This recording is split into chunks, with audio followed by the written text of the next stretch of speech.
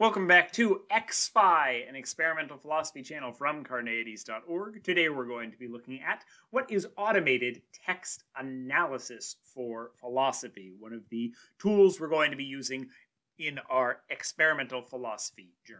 Now, generally in philosophy, when someone speaks of text analysis, they mean a process of reading a text and understanding However, in the world of data analytics and experimental philosophy, it means turning text into data and having a machine analyze it.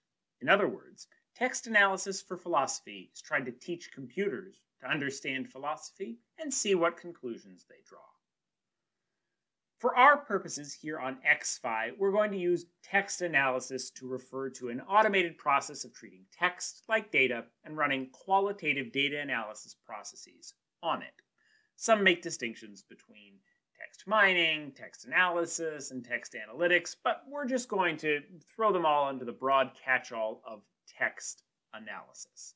Basically, these processes attempt to quantify natural language into a form computers can understand and then visualize and analyze the data that we can get from text.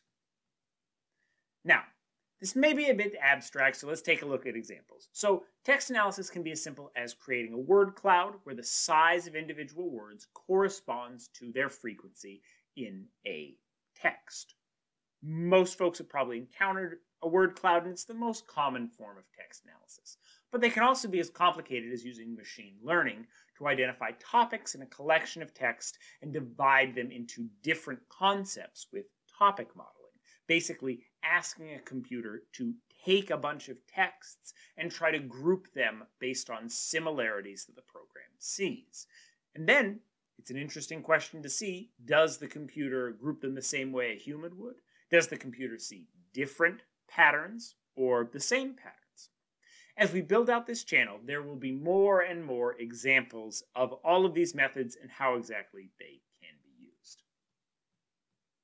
But how could text analysis really be useful to philosophy? That's what we're going to explore on this channel. How does Twitter feel about logical positivism? How would machine learning categorize Plato's dialogues? Can computers learn philosophy? By turning our philosophical texts and tweets into data, we will explore a different way to visualize and understand the information that's provided by philosophy. Maybe we'll gain insight from it. Maybe it will show that computers can't actually understand anything about philosophy, and it won't be particularly useful. But either way, it's an experiment, and we're going to try it. If you have any ideas for ways to use text analysis to explore philosophical texts or great databases of philosophical texts for us to use and analyze, please let us know in the comments. Watch this video and more here at ExPhi and more cutting edge experimental philosophy videos here. And as always, check out carneades.org to learn more about philosophy. And of course, stay skeptical, everybody.